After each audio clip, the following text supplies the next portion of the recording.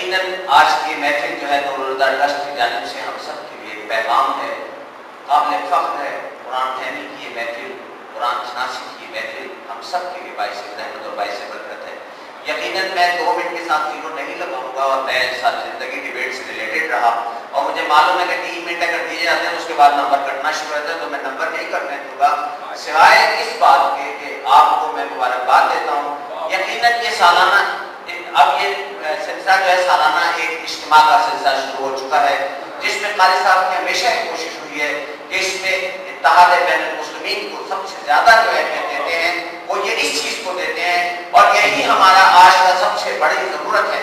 मैं आज जिस तरीके से मुमलिकत पाकिस्तान को देख रहा हूँ कि जहाँ पे अब कत्ल गारत गरी मज़हब के नाम पर, मिलत के नाम पर, दीन के नाम पर यकीन रखें कि इतने तो लोग जंगों में नहीं मारे जाते जितने मुमलिकत पाकिस्तान में सिर्फ़ दहशत गर्दी की नज़र हो जाते हैं।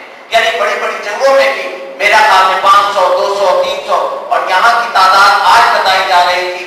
मैं दो तीन दिन पहले टीवी पे पढ़ रहा था कि तकरीबन तकरीबन सोलह सौ समथिंग बंदे जो हैं, वो सिर्फ़ जो है, वो दहशत गर्दी की नज़र हुए मज़हब के नाम पर, मिल्लत के नाम पर और इसी तरह दीगर तरीकों से। तो ये तो जो है बड़ी बड़ी जंगों में भी इतने लोग नहीं मारे जाते ये बहुत बड़ा एहसानिया है और इन हालात में इस किस्म की महफिलों का इनका यकीनन वक्त की ज़रूरत है।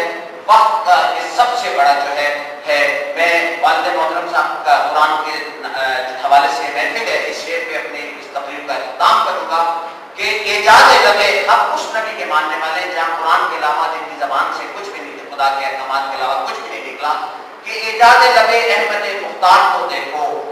एजाज लबे अहमद मुख्तार को देखो। कुरान भी कुरान है गुफ्तार नहीं है।